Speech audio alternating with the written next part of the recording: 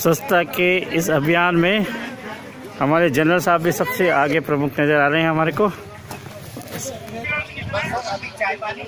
आज पूरी टीम है, हमारी प्रभा शाह भी नज़र आ रही है हमारे को और हमारे सुनीता जी अभी भी जा रही है। पान हमारे हैं, हमारे गोरखाली सुधार सभा के प्रेसिडेंट साहब अपनी पूरी टीम के साथ दल बल के साथ आज देखो। आगे आगे बंदा।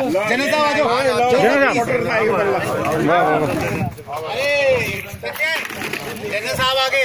वाह